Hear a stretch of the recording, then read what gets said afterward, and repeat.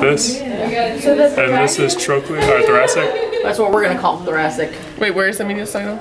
so what is the The mediastinum is the area where the heart's found, that general like middle area, you got the two lungs, and they have this little area here, that's where the thymus is located, mm-hmm. is in the mediastinum, kind of just this general area right here.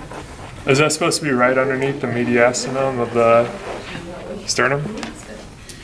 The, the, well, yeah, So it's everything below because it's, that? because it's between the two lungs, it's just a general area. Okay. So like, So some of the esophageal there's a lot um, of lymphatic vessels will be there too. so here, this general area is like the mediastinum, like right in here, Okay. Is this too high for that? just too high. Okay.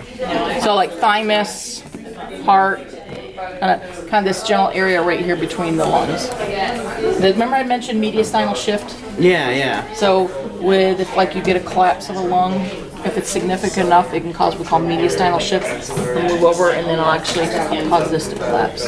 Because it's going across that mediastinum.